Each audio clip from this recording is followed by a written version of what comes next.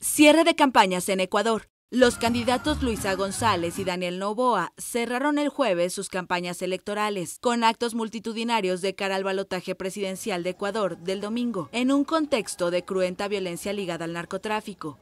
González cerró en la ciudad portuaria de Guayaquil y Novoa en la aldea pesquera de Muey. Ambos apelaron al apoyo de sus bastiones políticos. Novoa, de 35 años y autoproclamado de centroizquierda, aunque le apoyan fuerzas de derecha, apuntó al apoyo de las nuevas generaciones.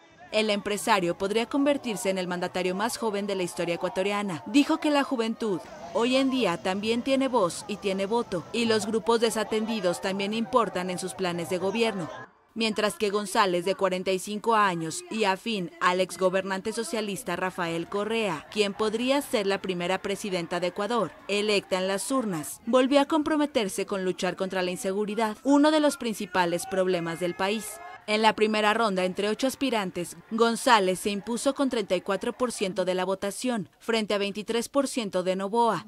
El triunfador gobernará hasta mayo de 2025 para completar el actual periodo de cuatro años, luego de que el actual mandatario Guillermo Lazo dio paso a los comicios generales anticipados al disolver el opositor Congreso en mayo para evadir una posible destitución en un juicio político por presunta corrupción promovido por el correísmo.